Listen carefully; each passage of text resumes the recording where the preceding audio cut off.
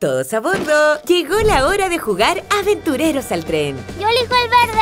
Yo el amarillo. Entonces soy rojo. Bajo mis dos cartas negras y una locomotora. Son cuatro puntos. Pero yo quería esa ruta.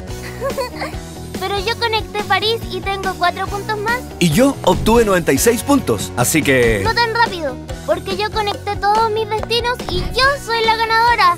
¿Y si jugamos otra partida? Cartas, reclama las rutas y conecta al mundo con aventureros al tren. Un nuevo clásico para jugar en familia. Encuéntralo en las mejores tiendas hobby del país.